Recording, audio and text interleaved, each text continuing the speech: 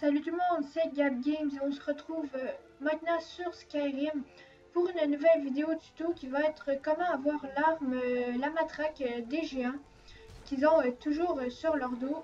Voilà, et là j'ai juste de la faire voir, c'est pas grave. elle tape de 169, elle pèse 8 et a une valeur de 1$.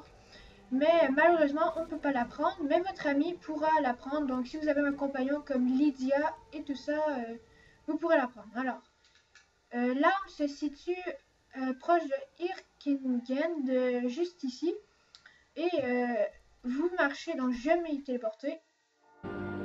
Alors, une fois que vous êtes téléporté ici, vous allez arriver devant cette structure. Mais vous allez tourner à droite. Alors, moi, mon compagnon, c'est Lydia. Alors, je l'ai apporté avec moi, mais vous pouvez avoir d'autres compagnons. Si vous ne l'avez pas, vous pouvez toujours aller voir à dans la guilde des compagnons. Vous pourrez demander à quelqu'un et euh, il vous suivra. Alors, euh, vous partez vers la droite et vous marchez, vous continuez jusqu'à temps que vous arriverez euh, au camp de géant. Une fois que vous êtes arrivé au camp de géant juste devant moi, là, elle va se trouver l'arme en haut à gauche sur la petite falaise ici. Alors, vous montez moi je vais esquiver.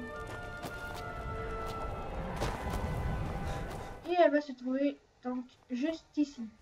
Alors, euh, vous ne pourrez pas la prendre, comme je dis, mais votre compagnon pourra. Euh, maintenant que votre compagnon est avec vous, vous allez euh, lui parler et vous lui dire I need to you to do something. Alors en français, j'ai besoin qu'elle fasse quelque chose et vous allez lui pointer l'épée. pas l'épée, mais la matraque et elle va la prendre et l'équiper.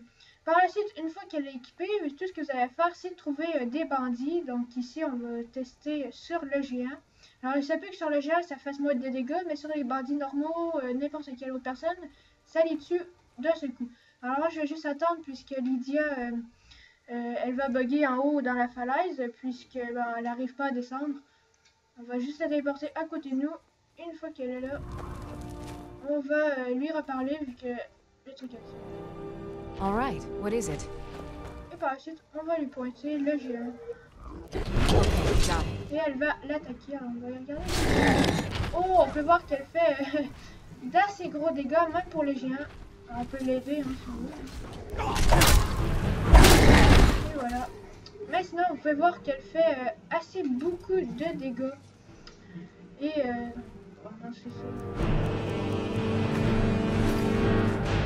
C'est déjà la fin de cette vidéo pour vous montrer donc le tutoriel comment prendre une des armes les plus puissantes du jeu. Je crois même que c'est la plus puissante. C'est un c'est par exemple un peu plate qu'on ne peut pas euh, la prendre.